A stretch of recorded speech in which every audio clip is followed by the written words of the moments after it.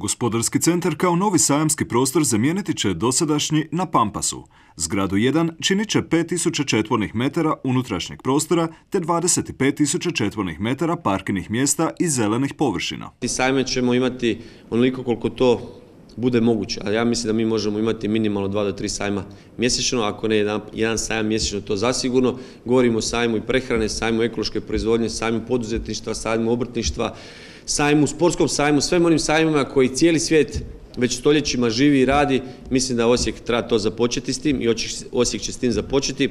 Radovi na izgradnji zgrade 1 započinju već za nekoliko dana, a rok za njezino dovršenje je 18 mjeseci. Projekt je vrijedan 65,5 milijuna kuna, od čega je 45 milijuna sufinanciralo Ministarstvo regionalnog razvoja iz fondova Europske unije. Gospodarski centar u Osijeku širi naziv upravo projekta, osim samo ovog prve faze sajamskog prostora, nosi sa sobom i naravno e, ostale sadržaje kongresnog centra, ali i sadržaje za poslovanje e, malih i srednjih poduzetnika u sklopu poduzetničke potporne institucije.